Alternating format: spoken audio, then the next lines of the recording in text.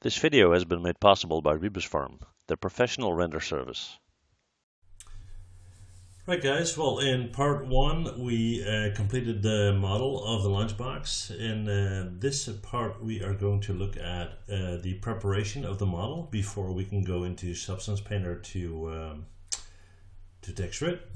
So a couple of things I've done here. If we select our model and we go to Windows and Outliner, uh, here we go.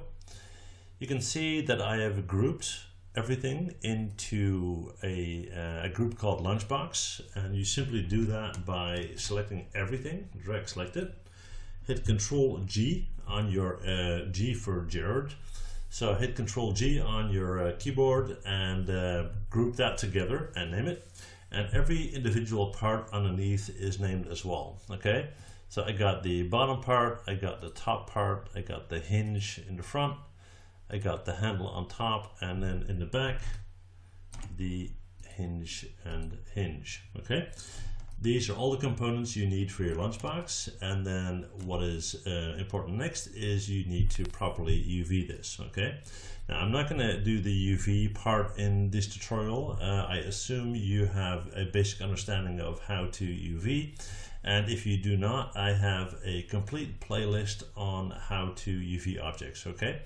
But if you go up to UV and UV editor you can see that I have UV'd this entire lunchbox all right so uh, it's clean. I have deleted the history. So I go up to edit, delete by type history, and I have frozen the transformations as well.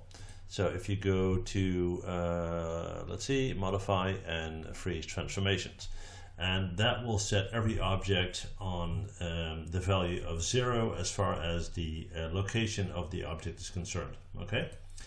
So it's grouped, every part is named, it's UV'd, what else? Now, when we go into Substance Painter, we need to apply materials to certain parts of our object.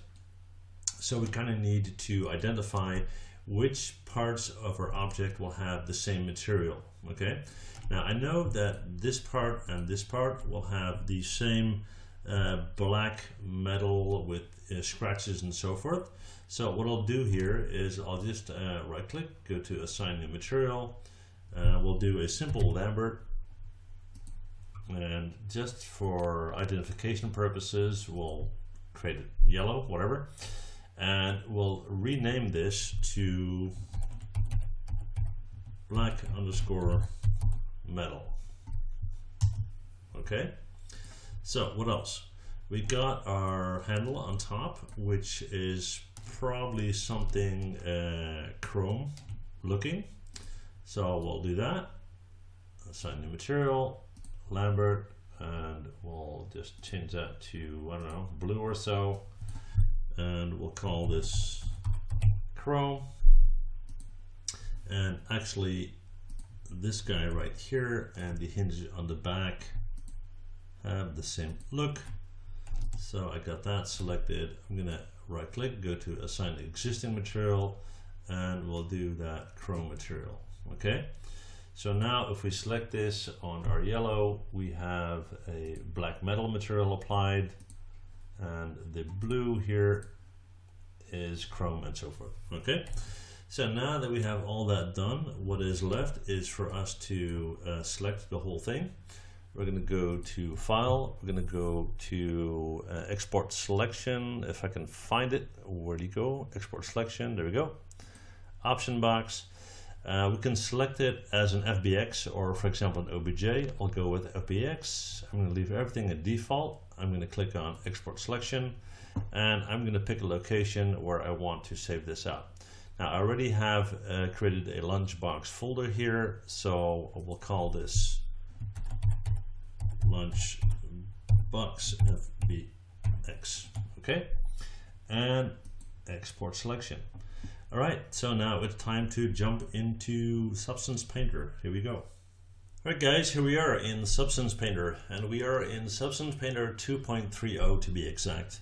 Now for the most part, if you don't have this exact version of Substance Painter, you should be okay as I'm going to approach it uh, fairly basically for the main reason because I've been asked to do that, okay? Um, so we're to keep it pretty basic. All right. And we're to do more advanced uh, videos in Substance Painter in the future. But for now, we're just to get through this and give our lunchbox a nice texture. Okay. So we're to just uh, close this out here. Before we get started, make sure we all have the same layout. So I'm to go to View and Reset User Interface. So if yours looks different, it should now look the same. Depending on your screen resolution, your uh, pictures and icons could be bigger or smaller, uh, but for the main part, it should look the same, okay? So with that all done, what we're gonna do is we're gonna go to File and New, and here we have a couple of options that we can fill out.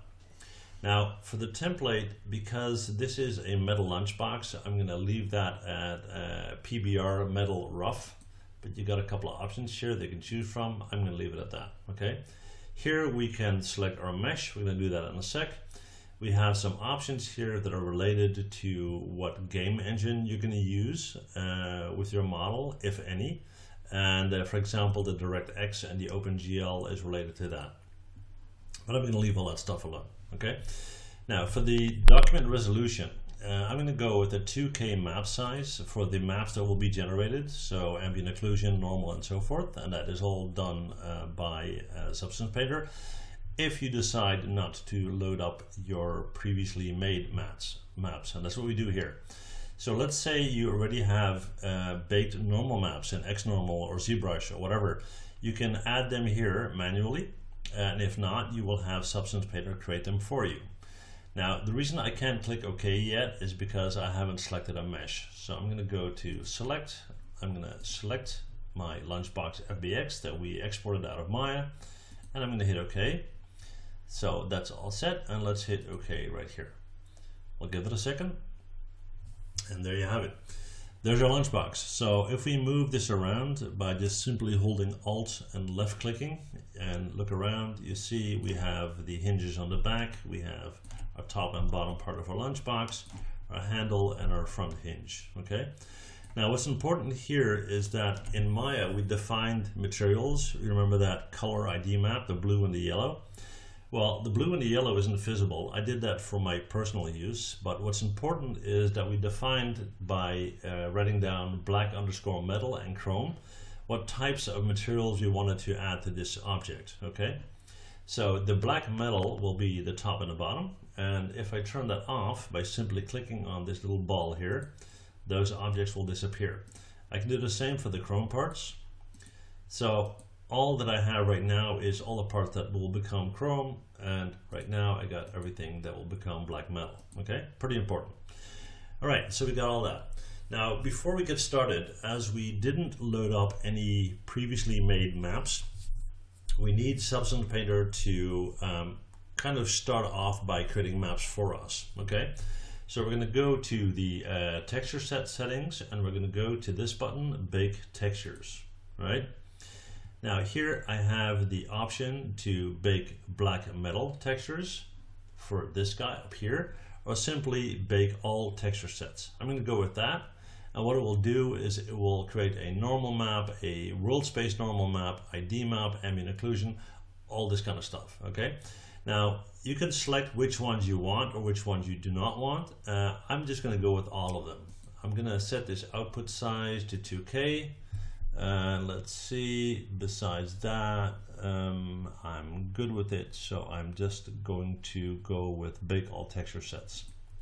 Now it's possible that in your log file you will get some error messages down here because I just simply decided to bake everything and for some maps it needs additional information okay? So don't be worried about that. You can see that it already has applied ambient occlusion uh, while it's baking it.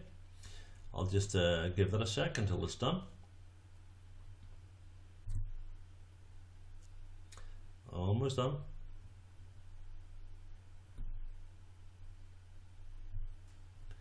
A little bit more. There we go. Okay now I'm going to click on shelf instead of log to get rid of that log. So like I said, don't worry about those error messages. Uh, we got that all set up and what you see here now is that it has created a normal map and so forth. Now once we start to add materials and smart materials to our object you will see that all these folders here and maps will be automatically updated okay which is cool. All right, so let's get started. Um, first, I want to show you the view methods. If you go up here, you have the option to look at your 3D only, which we're doing right now, but you can also select on 3D 2D, which will um, real-time show you your uh, UV map as we created in Maya, okay? I don't like that, so I'm just gonna go with this guy. And that said, we're gonna go up to our layer structure here. Now, in Substance Painter, you have the option to add uh, simple materials, but you can also add smart materials. And the difference is that a smart material is a pre-made layered texture. So for example, rough steel with a painted steel on top of it, with rust on top of it, with dirt on top of it, and so forth. Whereas with the normal materials, you would have to kind of build that yourself. And you have all these brushes and, and alphas and all kind of stuff and I'll address all of that in future videos. So for now, we're going to keep it basic, okay? All right, so we're going to turn off our Chrome here for a sec. We're going to select the black metal part, and we're going to go up here, and we're going to go to add a smart material. And as we do that, and I got steel entered here, that's what I used last. Uh, let's see, we got uh, steel dark and aged. Let's give that a try. I'm just gonna click on that. And down here you see it's calculating. Let's see what that comes up with.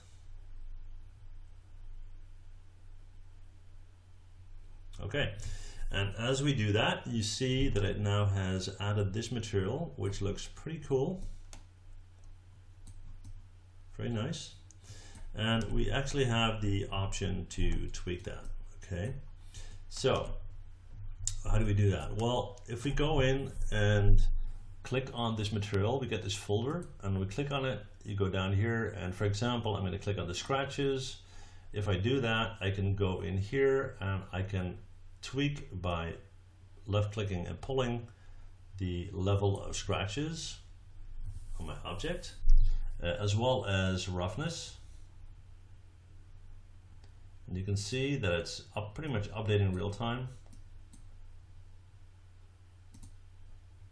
Hopefully you can see that. Uh, the metallic look, you can adjust that as well, depending on whether you want it to be aged or not, and so forth. And here are the folders that are impacted. So you get your normal, your rough, height, and so forth, okay? Now I'm gonna go to the um, middle part here. Let's see, We'll do this one. Let's see if we want to change anything there. Subtle changes, not really, really visible, but we'll do the grunge. That's a bit better. Okay, we'll do the, uh, let's see, the intensity. Yeah, that's a bit better. I like it when it's nice and rough, okay? Now, the scale,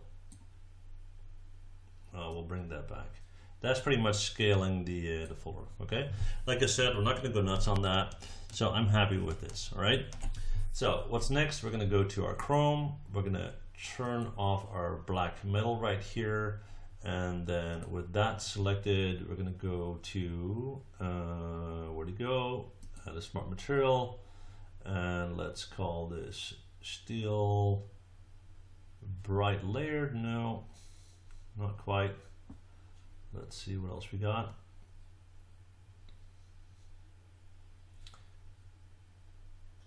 Let's try this red, just for the heck of it. Okay, have to apply to the right layer. Hang on, guys. Yeah, my bad. I had uh, black metal selected, although it was turned off supposed to be here. You can see that the layer stack is empty. That's the one I need to go with, okay? So again, uh, we're gonna select a smart material and kind of second guessing that red there. So let's do stained steel, okay? It's calculating. It should now apply it nicely to my objects and it has. So we're gonna turn back on the metal, there we go. Not quite sure whether that's, it's a bit dark. It looks a bit too much like the rest. So what we'll do is we'll go in, to our chrome layer. We're going to select that. We're going to go, let's see here. We got the base steel. And let's see what we can do there. That's offset, hardness maybe. Not really any changes there. Dirt level.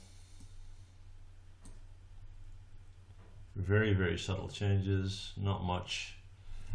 Um, not quite sure if that's the one we want. So I'm going to select it. I'm going to delete that. I'm going to add a different smart material until I find what I like best. Something that is uh, fairly high contrast. So let's try this. Okay, yeah, that's much better. Um, if you go in really, really close, you can see it nicely. Okay, and we again can tweak that a little bit if you like. So uh, let's see, we'll go to scratches, we'll, you can see they can bring that way, way up. That's a bit too much, so we'll kind of keep that down a bit, like so. The roughness, you can tweak that if you like. Uh, let's see, what else? Stains,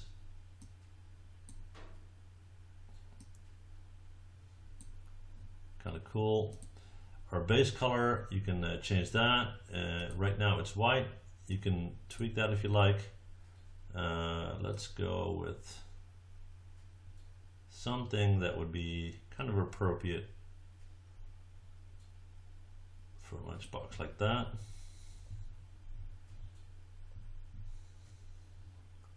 It's kind of cool. Yeah, we'll go with that.